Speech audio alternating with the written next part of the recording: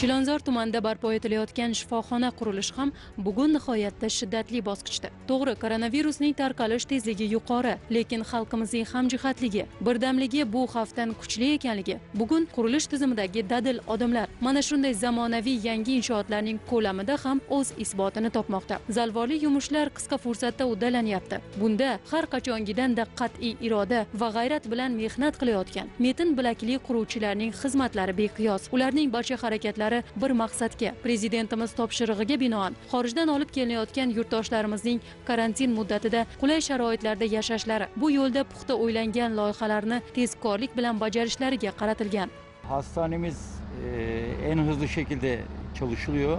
Hozir shifoxona juda tezkorlik bilan qurilyapti. Quruvchilarni qavatlarda bir biriga yaqin bo'lmagan masofada taqsimlagan holda ish tashkil etdik. Negaki ayni vaziyatda to'planib ishlash maqbul emas. Har bir ustaning salomatligi muhim. Barcha harakatlarimiz shifoxonani qisqa fursatda barpo etishga qaratilgan. Bino eng so'nggi jahon standartlari asosida qurilyapti. Texnologik jihatdan ham kommunikatsion talablar borasida ham ishonchim komilki yurtingizdagi eng zamonaviy lyuks tibbiyot muassasalaridan biri bo'ladi. Yagona maqsadimiz pandemiya ortiq boshqalarga zarar yetkazmasidan bu maskanni foydalanishga topshirish. Bizning qurilish sohasidagi tajribamiz va o'zbek quruvchilarining uddaburonligi mehnatsevarligi evaziga biz oldimizda turgan mas'uliyatli vazifani muddatida bajara olamiz.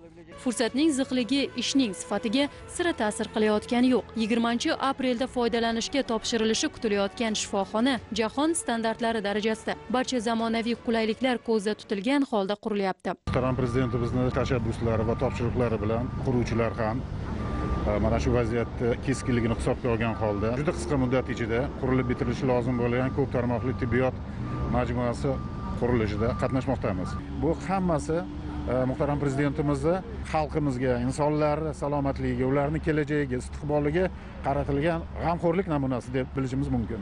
Quruvchilarimiz ham o'zlariga yuklatilgan yuksak mas'uliyatli vazifani ich ichlaridan his etib misli bir oila shaklida bo'lib turib vazifani o'z vaqtida bajarish uchun qo'ldan kelgan barcha harakatlarni amalga oshirmoqdalar. Bu kabi fidokorona mehnatlar besamar ketmaydi. Davlatimizning shifokorlarga va xalqimizga bo'lgan g'amxo'rligi mohir quruvchi ustalar mehnati vositasida ko'rkam va zamonaviy ko'rinishda bo'y ko'rsatish arafasida.